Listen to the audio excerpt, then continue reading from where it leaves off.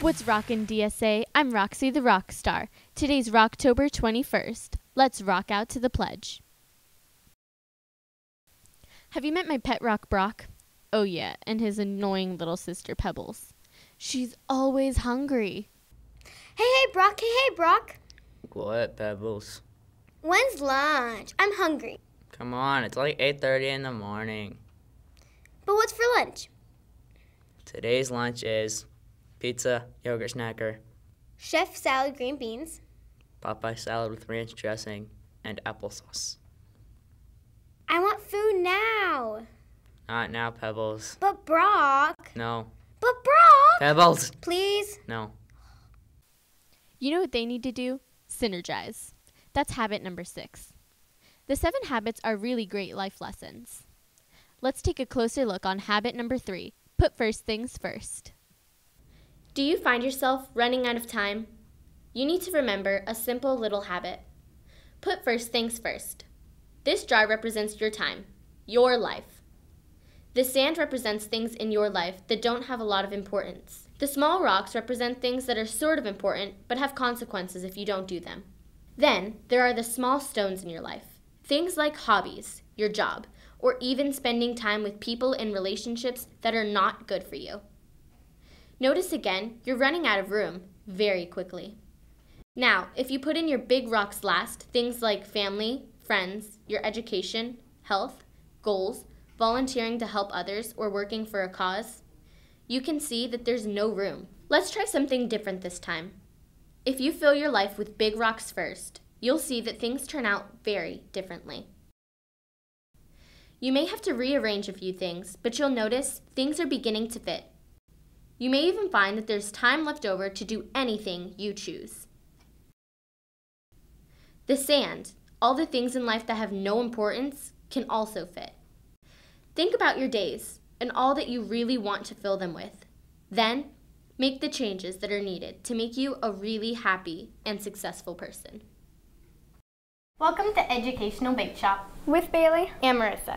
Here at Educational Bake Shop, we love to bake new sweets, especially cupcakes. We've recently created some new types of cupcakes based on the three main types of rocks. And let me tell you, these cupcakes, they rock. Let me go get the cupcakes. This is the igneous cupcake. Don't you lava this cupcake? I want to say that pun doesn't make sense, but it does. Because igneous rocks are commonly called lava rocks. They form when the lava cools. They also commonly have a glassy surface, which is why we added glaze to the frosting.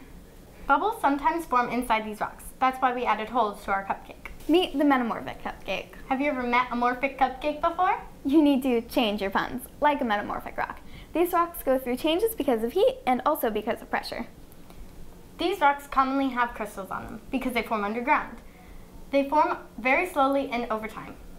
Can you guess what the next rock cupcake is? It's sedimentary, my dear Marissa. We added sand-like sprinkles on top of the cupcake because sedimentary rocks are often formed from sand, pebbles, shells, and other debris. They'll eventually crumble and look like this. These rocks always have layers. Well, we need to get decorating these cupcakes. Now back to Kayla and Allie. That was some rockin' stuff.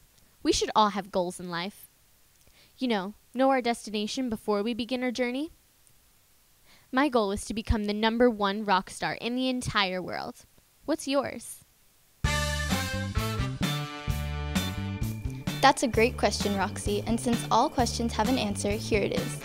Arius, what are your goals for the future? Be an NFL and graduate from college and get a scholarship. Will, what are your goals for the future? I want to be a professional soccer player and a movie director. What are your goals for the future, Alyssa? I want to get into a good college. And Emily, what are your goals for the future? To be a professional performer and to go to a good college. DSA students have some pretty rockin' goals. I've been chatting with Pebbles, and she is a big gossip. We were talking about DSA's Rock-A-Walk. Let's take a little trip back in time. Congratulations, Rock-A-Walk class winners. First place goes to Miss Rodriguez. Her class raised $919. Second place goes to Miss Fowler with $785. Third place winner is Miss Leonard with $738. You guys will be having an ice cream party. Fourth place is middle school class, Mrs. Karowski. It looks like you will be getting donuts. Save me one. And fifth place goes to pre-K, Mrs. Fryer with $657. OMG, have you heard the Erosion Brothers' new hit single, Rock? Their classic rock songs are crater than anything I've ever heard.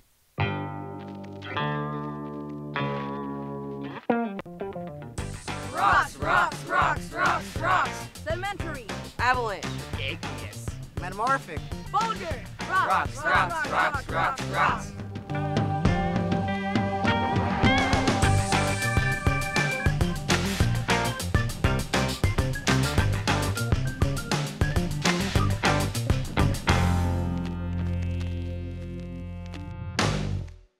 What I tell you, best rock band in this century. Well, DSA, I hope you have a rockin' day.